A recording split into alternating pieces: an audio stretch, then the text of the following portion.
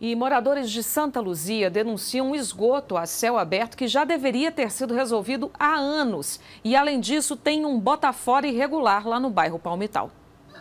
Tem de tudo nas margens e também dentro desse córrego, repleto de esgoto, que já deveria estar canalizado há anos no bairro Palmital, em Santa Luzia. Desde quando eu conheço Palmital, que tenho 33 anos que eu moro aqui, isso aqui nunca saiu, esse projeto nunca saiu do papel. Esse lixo não veio aqui pelo poder público, esse lixo aqui foi jogado por moradores, pessoas inconscientes. E relatos aqui dos moradores do Palmital, vem pessoas de outros bairros jogar lixo aqui. Vergonha! O sentimento dos moradores é tão forte que foi estampado aqui na rua. Mas esse desabafo também é um aviso.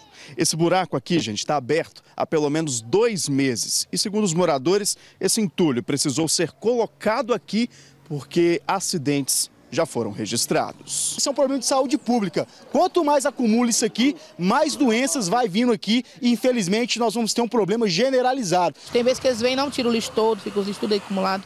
Os moradores também, tem gente que vem de fora, para de carro e joga lixo aqui, entulho, cachorro morto. Dá muito bicho, sabe? Escorpião, barata, entra na casa da gente. Então a gente está sofrendo muito com isso aqui. Com a volta das chuvas, as famílias que moram na beirada do córrego têm medo das inundações. A gente já fica com medo, né, da, da chuva vir invadir as casas, né?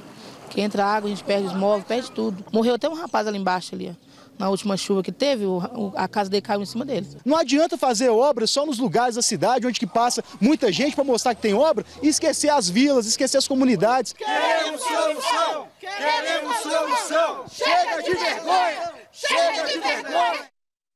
Chega mesmo, né?